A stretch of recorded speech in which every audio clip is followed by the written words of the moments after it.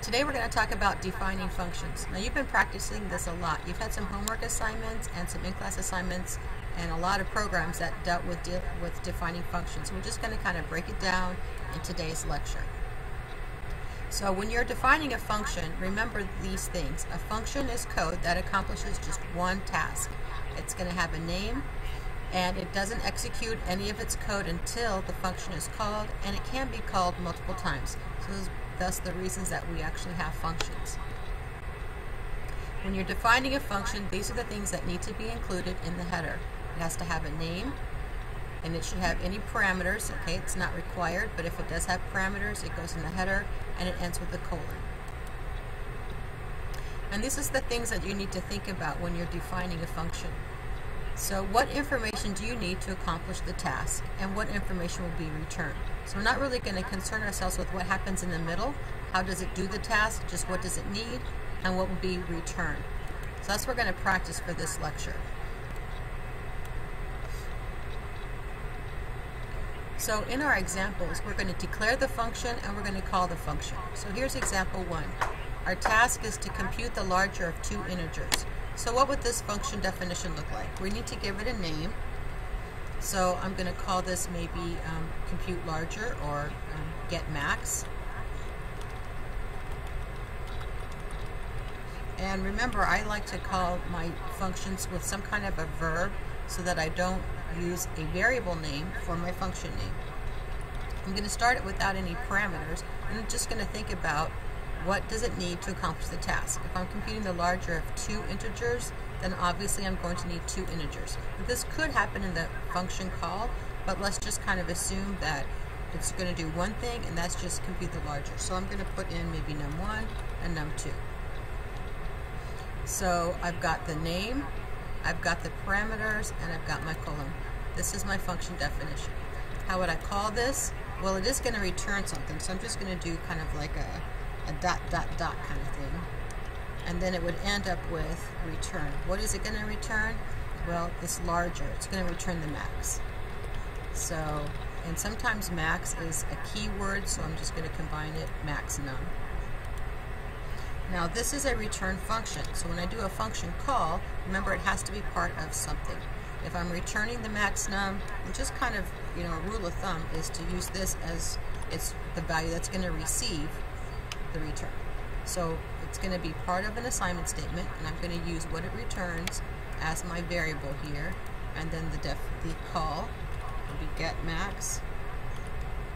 And since it has two parameters, in here I'm going to put two arguments, which oftentimes will be the same. They don't have to be, but that's just kind of what we've been doing. So here's our first example. Let's take a look at example number two. Once again, we're going to declare the function and call the function. Here's our task. Compute the smallest of three numbers.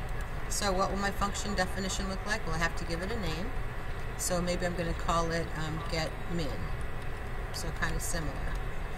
Do I need some parameters? Well, I have three numbers, so maybe I want to call it num1, num2, num3. And I'm going to end with a colon.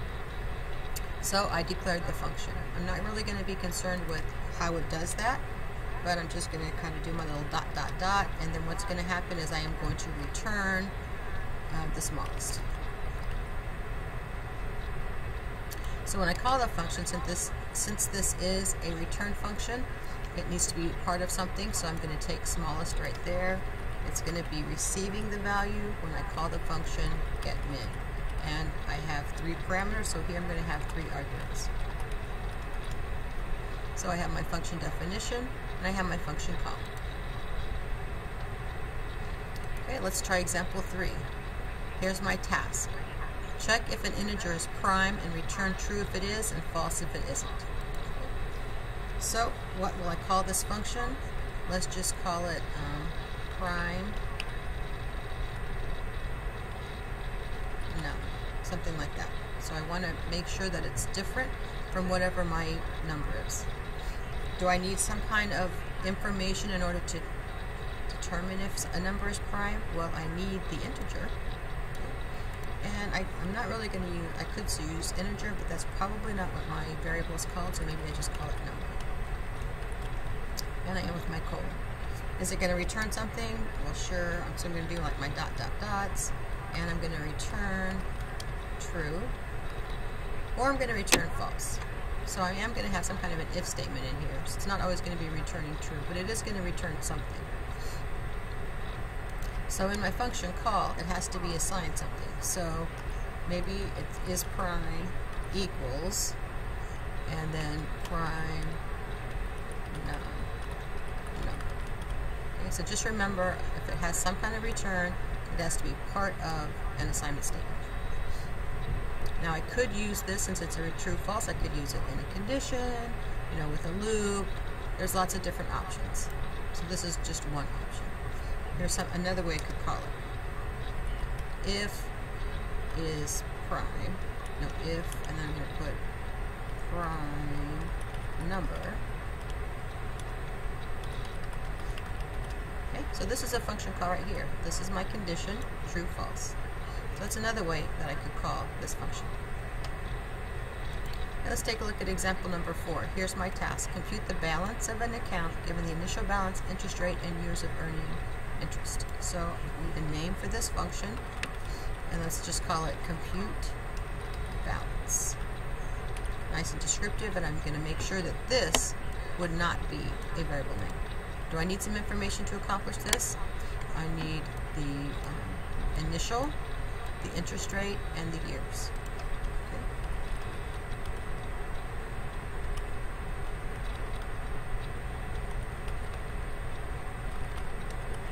and end with the colon.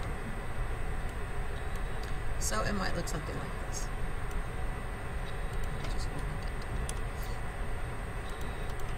And is it going to return something? Let's do our little dot dot dots. It's going to return the balance. Oops.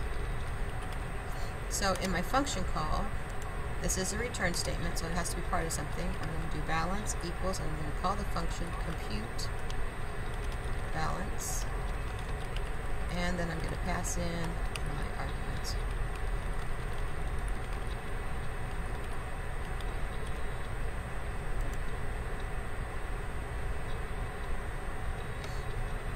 Okay, let's go on to our next.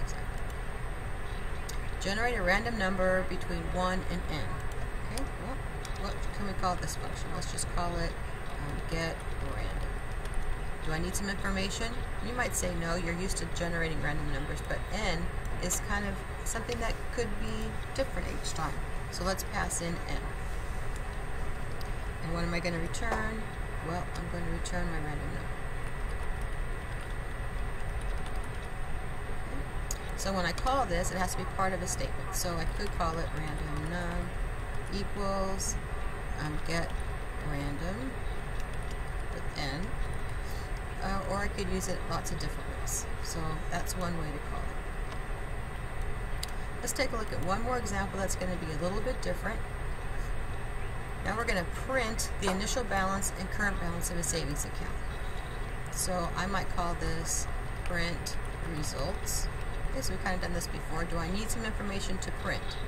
So I need the initial and I need the current. Am I going to return anything? not this time. So, no return. What does that mean when I call it? It means that the function call is going to be by itself. It's not going to be part of anything. So I'm just going to say print results, and I still have some arguments. So it doesn't really matter if it's a return function or void function. Either one can have parameters and arguments or not. But what you need to remember is how to call them. So when I do have a return function, it's got to be part of a statement, and when I call a void function, it just stays by itself.